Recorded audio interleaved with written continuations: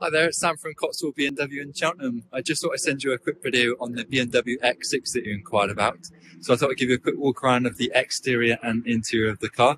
And then please let me know if you have any further questions. Thank you. Okay, excellent. So this is our BMW X6 30D M Sport then. So this car is finished in the stunning Dravite grey.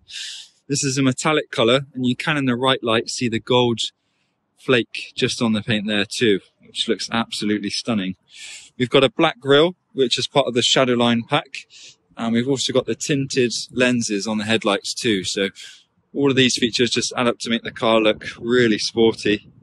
Just gives it a really athletic appearance.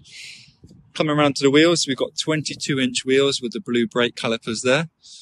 We've got a little M Sport badge just on the wing and also some of the vents there too. Just panning around to the side, we can see the sun protection glass. So this is great when you've got a warm day. It stops the interior build heat building up inside the car. And also it gives you more privacy in the back seats too. Running around to the back of the car, we can see the black chrome exhaust tips just on here. And also the reversing camera just there as well. Okay, so moving on to the interior, we can see the black Vernasca leather seats just here. Also the seat controls, these are electric memory seats, so you've got the controls for that there. And the buttons are just on the side as well. So we've got a boot release button and we can set one or two. So if you have two drivers, you can set the seat settings for each one. We've got the M Sport leather steering wheel. And as part of the technology pack, we've got the wireless charging function just here and also the head up display just on there as well. So we've got the multimedia screen on here, air conditioning controls.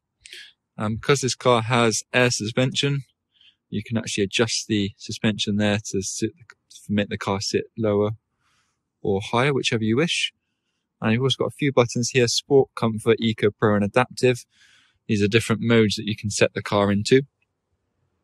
Again, you've got the paddle shifts as well. So if you wanted to change the car to manual, you can. So that's a little bit of the interior there for you as well. I'm just going to go around to the back and show you the seats in the back as well. Okay, so this is the rear seats here then. So you can see you have some controls here as well for the air conditioning. And just at the bottom there is also a charging point as well. Because this car is the M Sport Pro Pack, you've got the M Sport seat belts as well. So you've got the M Sport colours just on there too. Okay, so just a few of the interior and exterior features then of the BMW X6 30D M Sport. I'll send over a full specification for you. And if you've got any questions at all, please just let me know. Thank you.